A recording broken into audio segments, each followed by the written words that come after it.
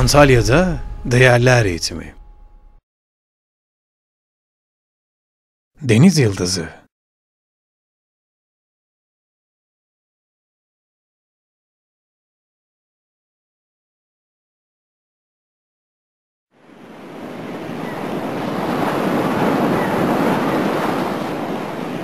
Şair ve bilim adamı Lauren Ashley bir gün sahilde yürüyüş yapıyordu.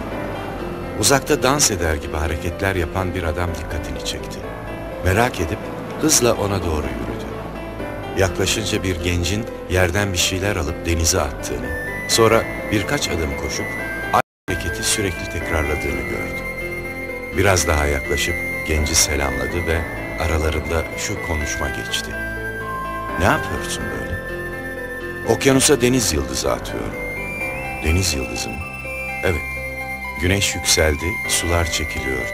Eğer onları hemen suya atmazsam az sonra ölecekler.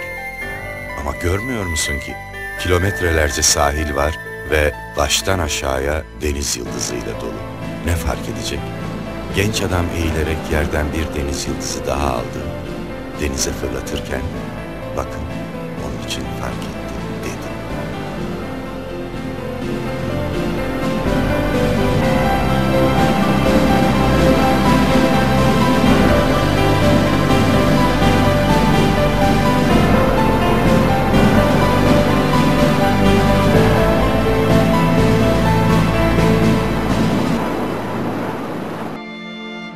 Değerlerine sahip çık, değerin artsın.